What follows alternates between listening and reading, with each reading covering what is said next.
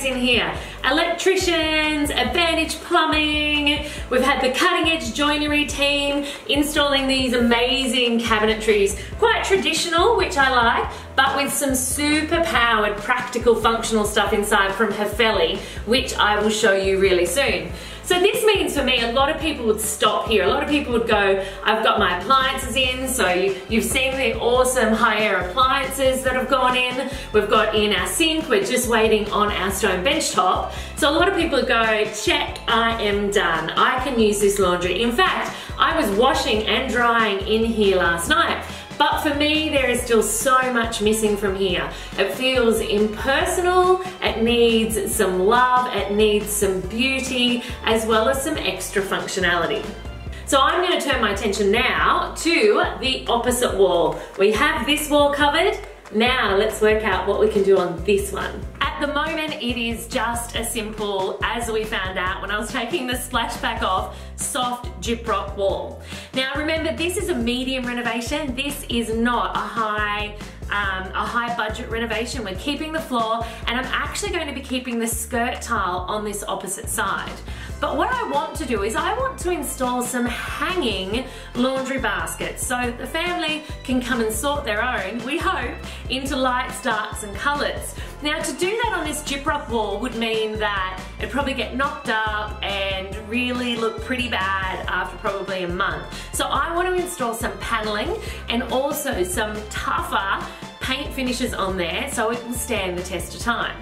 And above that, as I mentioned earlier, I want to look at putting in some beautiful customized drying racks as well as some wallpaper that's going to bring some character, some texture and some pattern into this laundry as well as tie in the warmer brown tones that are already in the floor.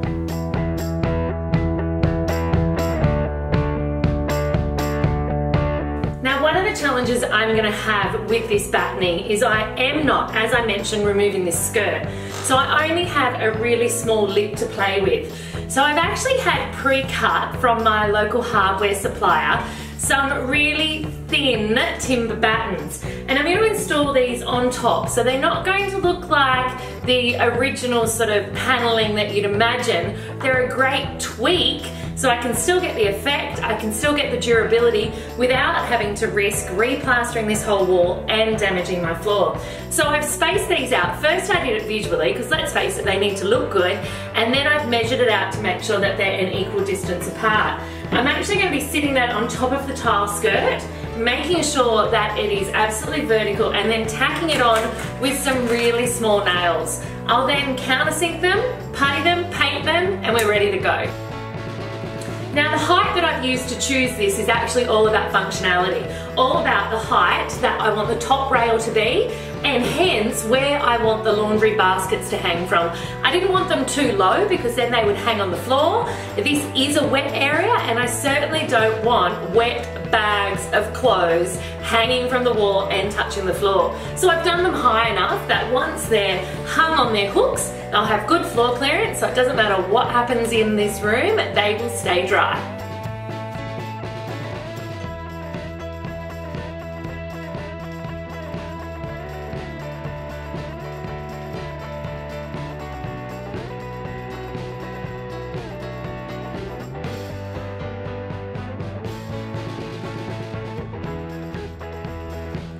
This wallpaper is from Kingdom Home and is perfect for the laundry as it will have water, pets, kids, you name it in this room. This one can actually be wiped down and will handle anything the kids can throw at it, literally.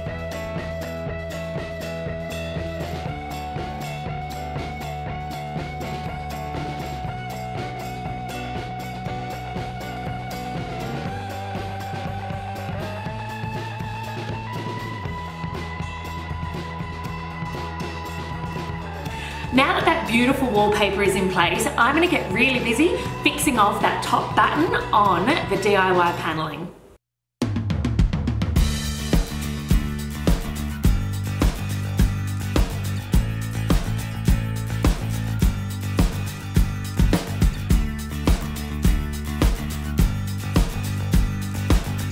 Now when you're gapping in a place that you intend to paint over, make sure you use the right gapping product. It's not your standard silicone that you would use in your bathroom or on a splashback. It's actually an acrylic silicone that you can paint over with most paints afterwards. So make sure you get the right one.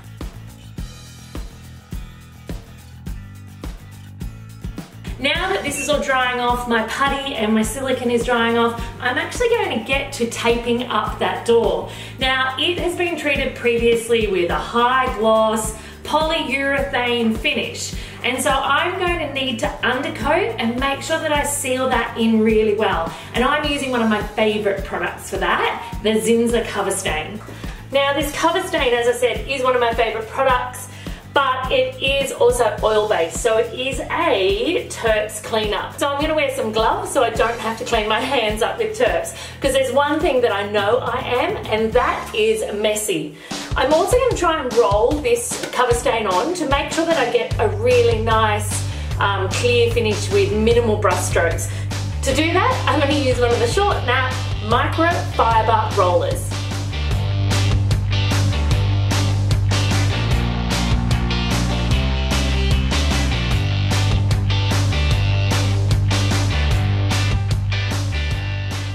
Now my first coats of paint were on my paneling and on my door. So both of those were an enamel. I used an alkali enamel on this paneling because I wanted something a bit more robust than a low sheen.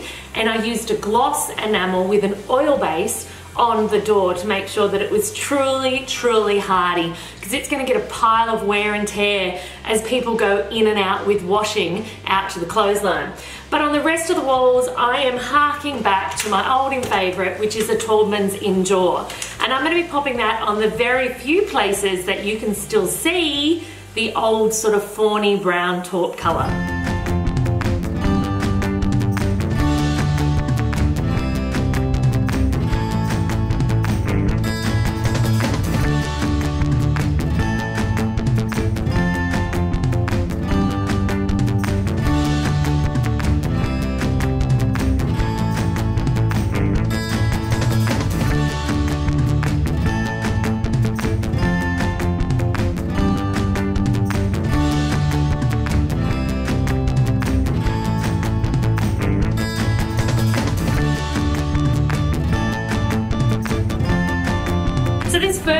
Of the gloss enamel is dry. I did it over 20 hours ago now.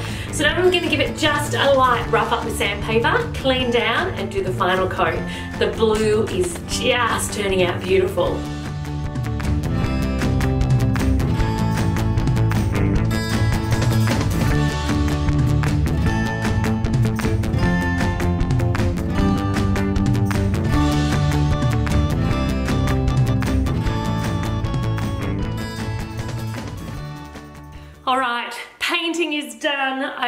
Painted me, I've painted the walls, I have painted everywhere.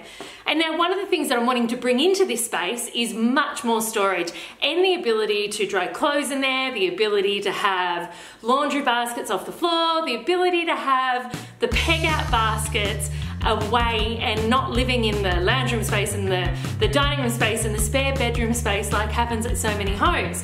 And so I've adopted a, an idea um, and I'm using an off-the-rack IKEA product. So this is some random form of kind of hanging, drying, storage rack that I am going to first try and build. I think it was easier to paint. And then I'm gonna customize it because if I put in this sort of matte silver drying frame into that beautiful navy white, floral, pale blue, dusty brown laundry, it is gonna look really out of place. And this is a perfect example of off the rack things can be customized. We don't have to buy old or recycled or second hand to want to customize. You can actually buy new.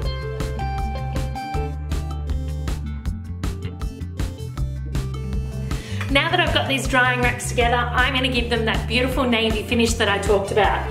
So first I'm going to rough them up a little bit with a metal um, sanding pad.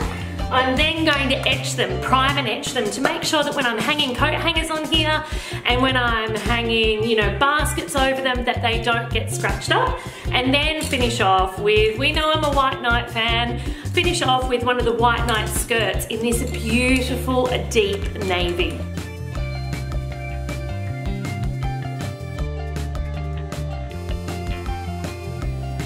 Always super important to spray paint in a well ventilated area or even outside.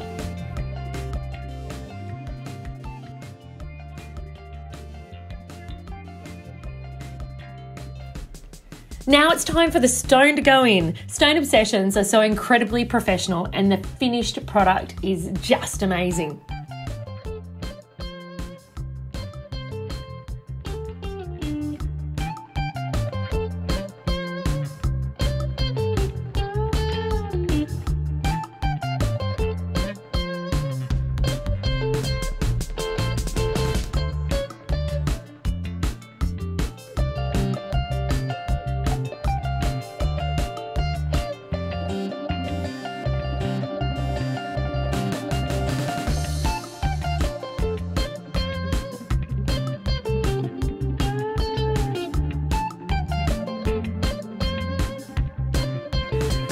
Clothes are off and I am absolutely ready to get stuck into some of the finer details for the laundry. Now I wanted to make this laundry a bit more bespoke, a bit full of character. And one way to do that is to not leave any detail unturned. So it's nearly finished and I could certainly just throw in some plastic washing baskets but instead I've got myself some gorgeous navy striped um, linen. And what I'm gonna do with this is I'm gonna make three custom laundry baskets out of it. One for the darts, one for the lights, and one for the delicates. So this fabric is 115 centimeters wide and, or actually 1.2 wide, and I got three meters of it. Now from that top rail of the battening to the floor, it is around a meter. I don't want these hanging on the floor, so I'm gonna aim for these to be around 900 mil or 90 centimeters in length.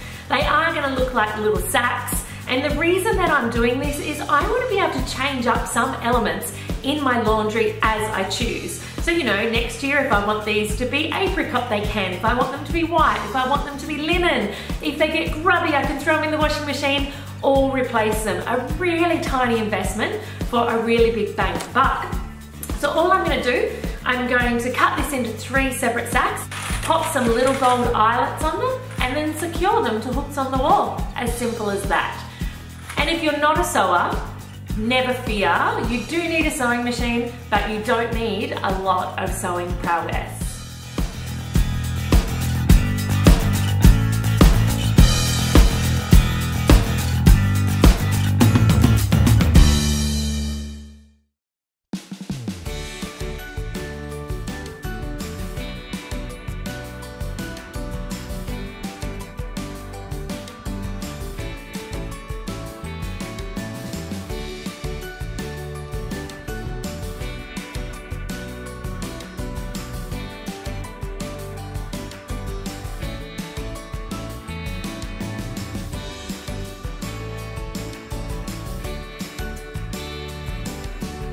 There you have it, a stylish and practical laundry the whole family can enjoy.